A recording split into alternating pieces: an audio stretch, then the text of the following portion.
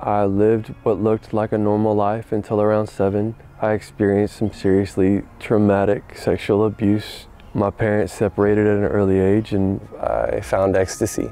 And that was it for me. Come hell or high water, I was gonna be at every party. My 20s were a blur. I was really dope sick. My 30s, I spent trying to kill myself.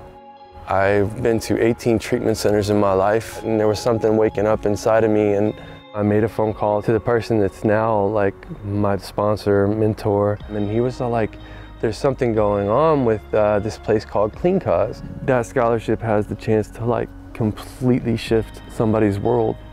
Once I thought there was just no end, like today it's like I think there's just endless beginnings, you know?